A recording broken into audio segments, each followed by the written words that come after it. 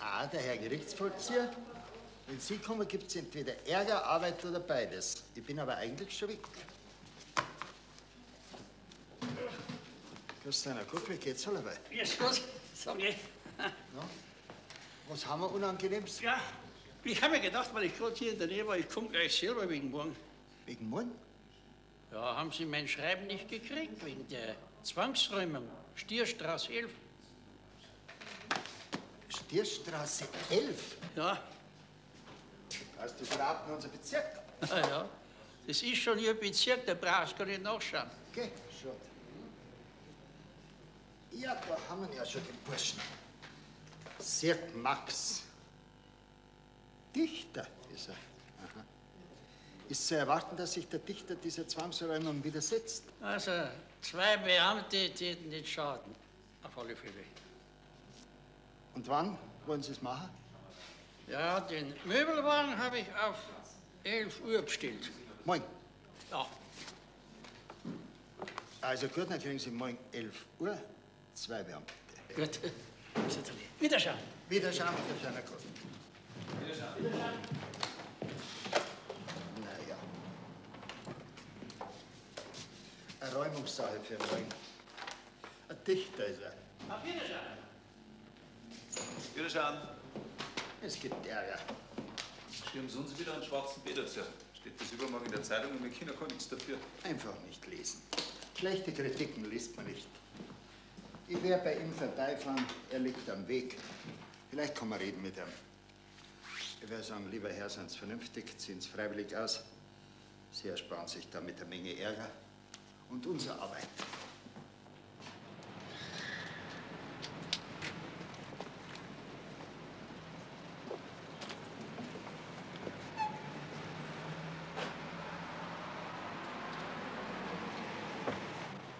Zweifellos ist es nicht der Schatten der Lerche. Der Schatten versinkt lautlos im Strom. Wie anders? Sollte ein Schatten versinken, der lautlos, seitlich schnell, wie Wasser durch ein Sieb. Sehr schön. Und, und ganz logisch. Das ist mir sehr wichtig, wissen Sie, dass ein Gedicht logisch ist, wie, wie Wasser in ein Sieb. Großartig. Haben, haben Sie das gedichtet? Ja, natürlich. Gratuliere. Aber leben kann man von sowas nicht. Ne? Ja, das ist sehr schwer. Ich äh, könnte Ihnen noch meinen Zyklus Sag Adieu auch zu den Schwänen vorlesen. Na, äh, Dankeschön. Ich muss ja zum Essen heim und dann ist ja das mehr halb amtlich als ein halb privater Besuch. Ich wollte nur schauen, dass Sie die Zwangsräumung morgen verhindern. Schauen Sie, Sie haben bei so einer Räumung haben Sie ja nur Kosten. Das können Sie ja mit Dichten gar nicht verdienen, was das kostet. Was glauben Sie nicht? Sie und raus müssen es doch. Sie haben nur Kosten und Inspektion hat nur Ärger. Also Sie müssen die Zwangsräumung verhindern. Verhindern.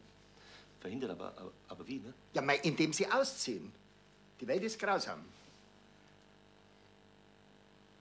Sie haben so alte Möbel und schreiben so moderne Sachen. Das Ja, die Möbel, die sind noch von meinen Eltern. Ne? Ah, sehr schön. Naja, wahrscheinlich kann man die von Dichten gar nicht anschaffen nicht und will man vielleicht gar nicht. nicht. Schreiben Sie doch einmal was fürs Fernsehen.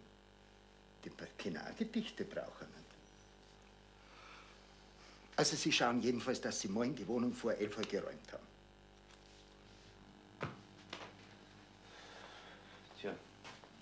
Ja, aber wo soll ich denn hin? Ja, das kann ich Ihnen auch nicht sagen. Jedenfalls, hier müssen Sie raus. Aber Ja, morgen um 11 Uhr kommt der Gerichtsvollzieher mit zwei Mebepacker und einem Mebewagen. der Gerichtsvollzieher, der gibt mir auch keine neue Wohnung, ne? Ja, natürlich nicht. Na, sehen Sie, wo, wo soll ich dann hin? Ja, das ist nicht seine Sache.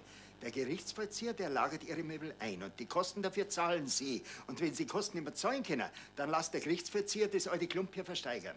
Und Sie wissen ganz genau, was alte Möbel bringen. Jedenfalls kostet eine Zwangsräumung das Zehnfache von dem, was Sie da kriegen. Also sind Sie vernünftig. Sie müssen.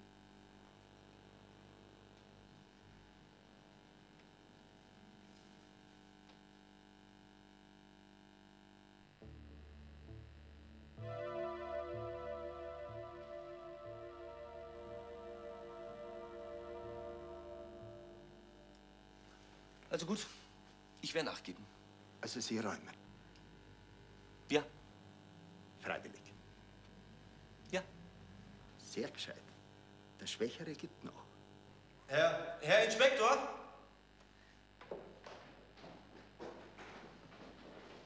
Ja.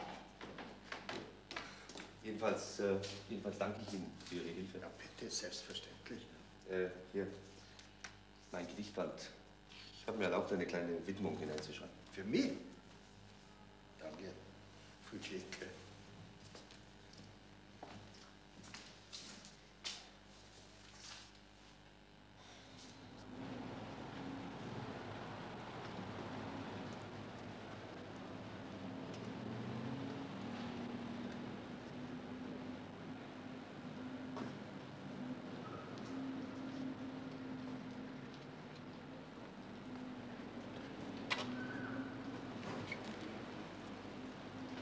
Halt, halt, halt, halt, halt, halt, da ist eine Wand hier. Da vorne ist die Tür. Da, ja.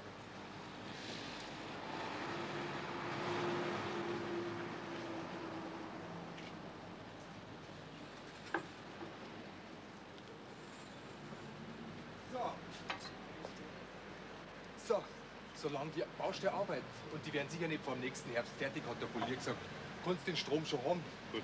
Auf das bisschen, was du brauchst, hat der Polier gesagt, kommt's bei der Millionenbauruine auch nicht mehr drauf an. Und du gefällst dem, hat der Polier gesagt, nur weiter so.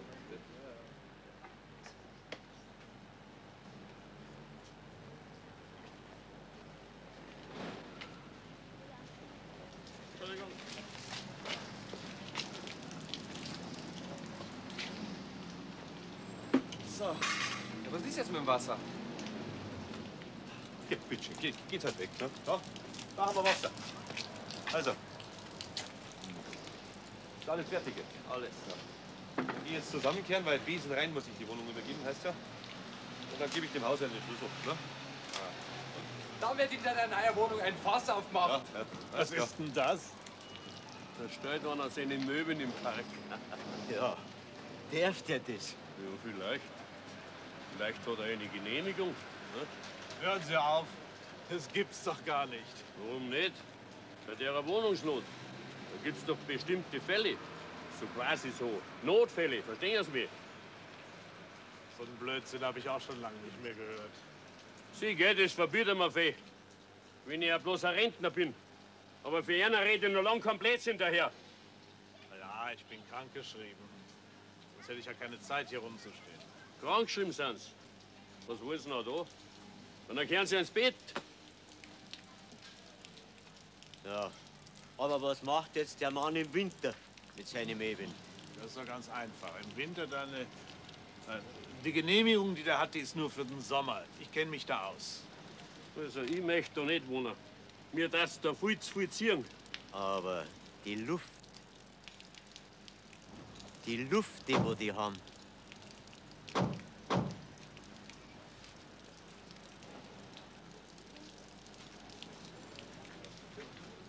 Polizei!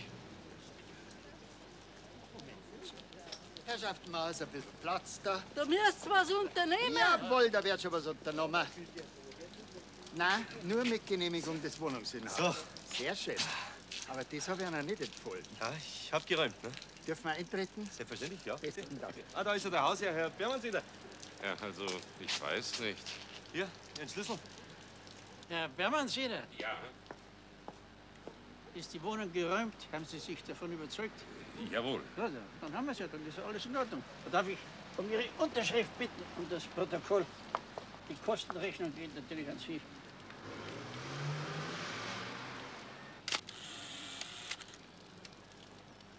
So, da. Als Dank, Herr Schöninger, bis zum nächsten Mal. Nein, nein, bleiben Sie da, ich brauche Sie noch. Ja, wieso? Hm, Meine Sache ist erledigt. So, Entschuldigung. Ja, aber der kann doch nicht da bleiben. Räumen Sie ihn da. Ich habe eine Wohnung zu räumen gehabt, die Wohnung ist geräumt. Für die Räumung einer Parkanlage steht nichts in die Papiere. Da muss ein neues Urteil gehen. Sie machen es leicht. Der macht es leicht. Das ist der Rest der Kaution nach Abzug der Mietrückstände. Aha. Das hätte ich jetzt gar nicht äh, erwartet. Ich bin nicht so. Ich muss nur auch auf meine Sachen schauen. Ja, Sie hätten nicht hinaus müssen, wenn Sie immer die Miete bezahlt hätten. Ja, dann. Äh, quittieren Sie es bitte. Hier. Tja, dann weiter alles Gute. Auf Wiedersehen. Also, vorerst regnet es nicht, hat der Wetterbericht gesagt, ne? Na, auf den darf ich mich nicht verlassen. Man, das geht nicht auf die Dauer. Ja, aber Sie, Sie sehen doch, dass es geht. ne? Das ist ja ganz hübsch hier und frisch. Naturfrisch. Möglicherweise sogar gesund, wenn man jung ist, aber irgendwie anarchisch.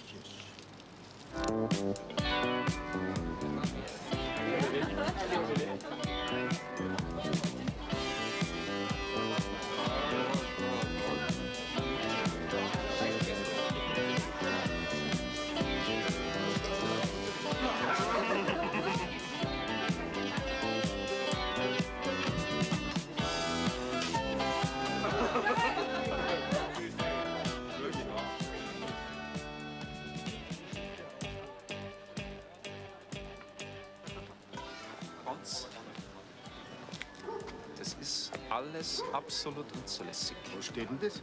Das weiß ich nicht. Das kann doch nicht zulässig sein. Eben da die Stadt ausschauen, wegen das alle machen. Ja, alle kommen auch nicht auf so eine Idee. Das Musizieren auf öffentlichen Plätzen ist verboten. Na du, das ist jetzt eine Wohnung und da können die musizieren, solange das wollen. Na, wenigstens in Zimmerlautstärke. Also Hausbesetzung ist das jedenfalls keine. Ja, das ist eine Parkbesetzung. Das ist ein Präzedenzfall. Der wird die Behörden noch lange beschäftigen. So was machen jetzt die, wenn es heute regnen anfängt. Das war glänzend, weil dann wird das Problem für uns erledigt. Dann schwarz es weg. Schwarpatzers weg. Wenn es heute regnet, dann nachher Schwarpatzers weg.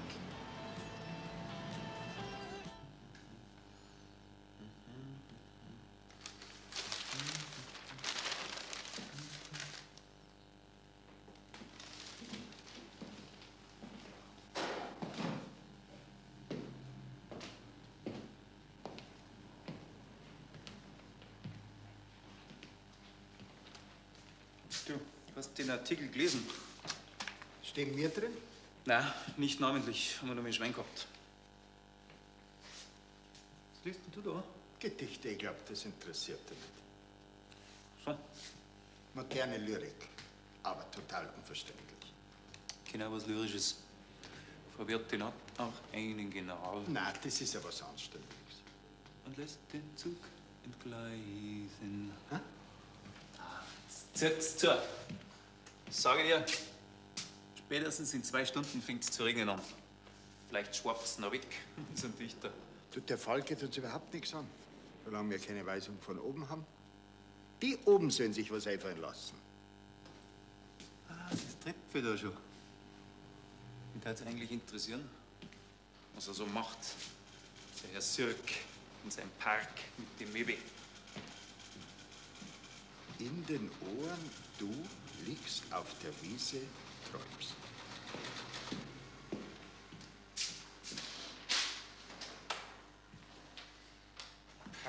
Parkanlage mit Möbeln bestückt. Werden die Beamten der Polizeiinspektion 1 ersucht. Was zu be- Du in Sache M. Sirk steht, werden die Beamten der Polizeiinspektion 1 ersucht, ohne die Bevölkerung zu beunruhigen, auf eine gütliche Bereinigung der Situation hinzuwirken. So, hinwirken soll man.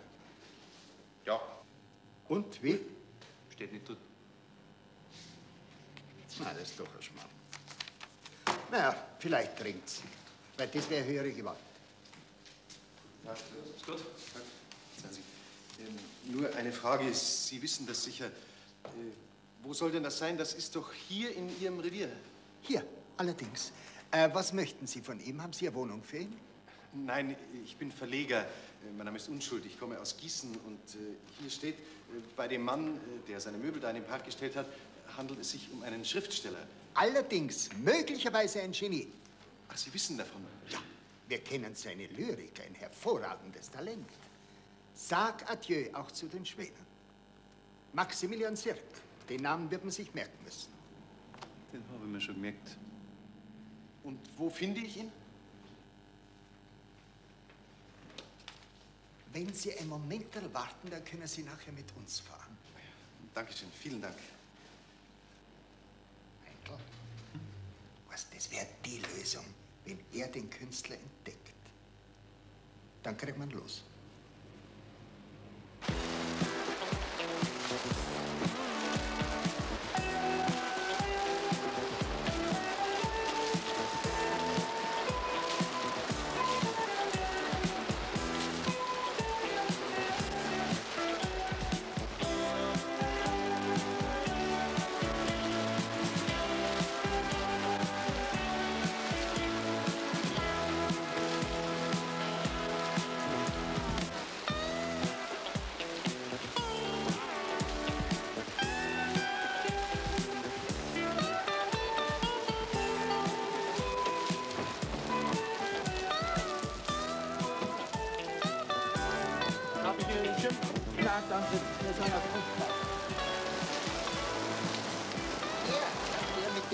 Schirm, das ist der Dichter. Verbindlichen Dank. Bitte, ist gern geschehen.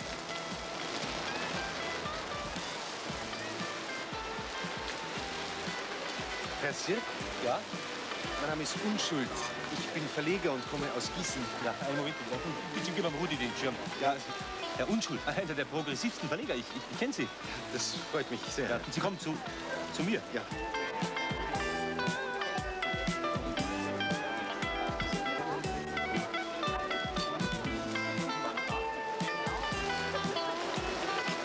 Einmal der Regen macht dem was aus. Das schwappt nicht weg. Den bringen wir nicht los. Nackert in einem öffentlichen Park. Nächst einschreiten. Schauen wir es uns an. Nein.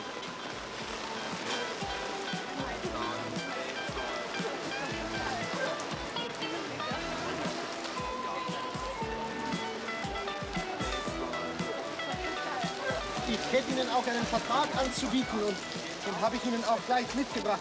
Herr Sirk.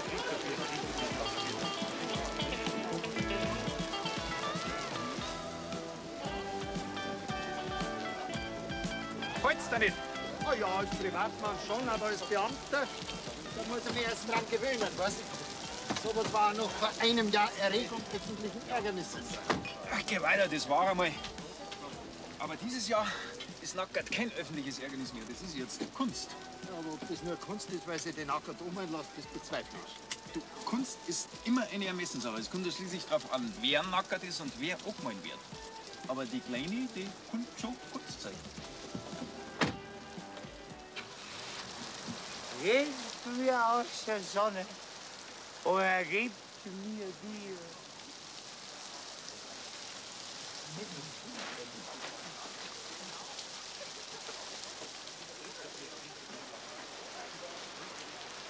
Hey, Reiß dich nicht an. ja, äh, äh, hören Sie, das ist, das ist meine Wohnung.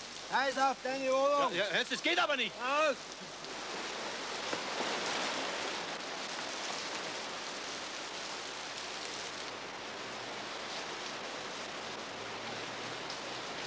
Kein Bier mehr da. Bitte verschwinden Sie. Hier ist keins mehr da. Sie, hier gibt's kein Bier. Bitte gehen morgen.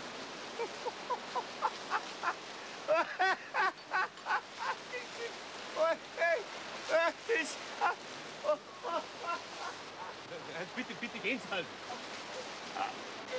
Schön.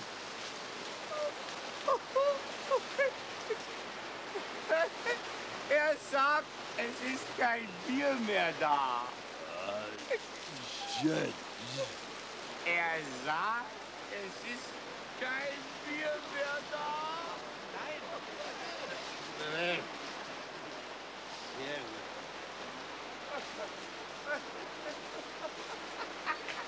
Oh, es ist... Oh.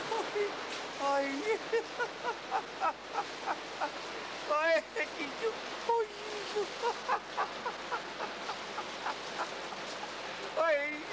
Ja, und äh, wie viele da inzwischen noch gekommen sind, ne, das, das, das weiß ich natürlich nicht.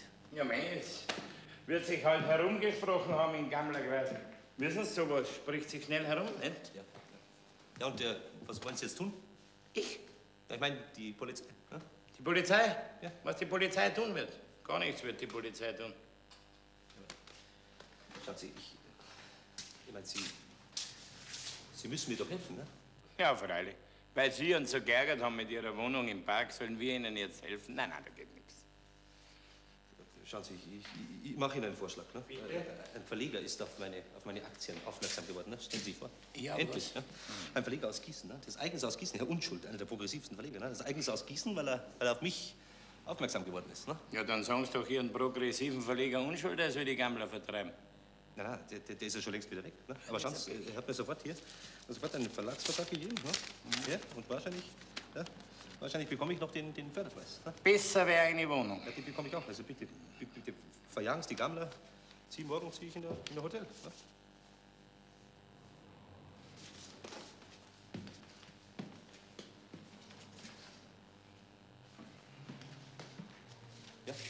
Ehrenwort? Ehrenwort. Dann packen wir's.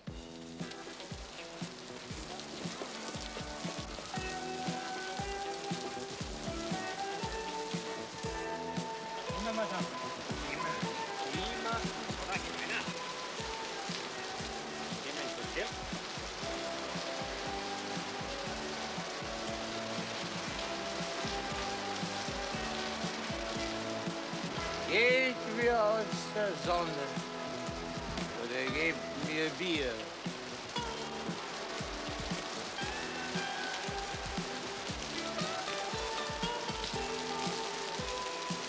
Salve. Ja, ja, gehen wir, gehen wir, gehen wir. Herr Sirk, kommen Sie her. Bitte, jetzt sind Sie weg. Ja, und die, die kommen nicht zurück? Nein, heute Nacht ganz bestimmt nicht mehr. Ja, dann äh, vielen Dank. Bitte? Ehrenwort haben Sie gesagt, gell? Ja. Wiederschauen.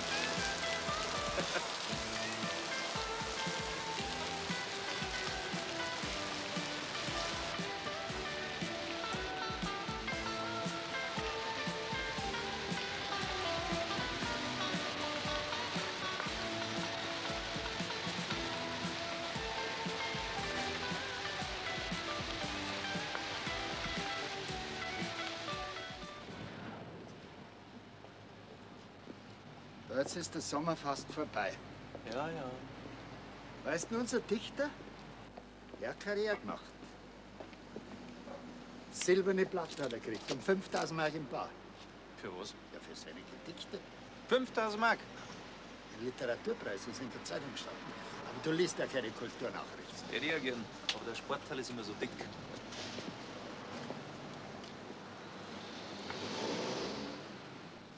Grüß euch. Was? Nein. Auch für dich, privat. Was ist? Ein Buch. Buch? Mhm. Eine Krachjagd. Nein, nein, wir haben schon untersucht, nichts Verdächtiges. Braucht doch kein Buch mehr. Ja, Maximilian Sirk. Poesie unserer Zeit. Da jetzt kriegt er schon einen ganz anständigen Einband, der Dichter. Ich stelle meine Möbel in den Park. Großartig, die modernen Dichter. Aus jeder Idee, und wäre sie noch so klein, machen die heute ein Buch.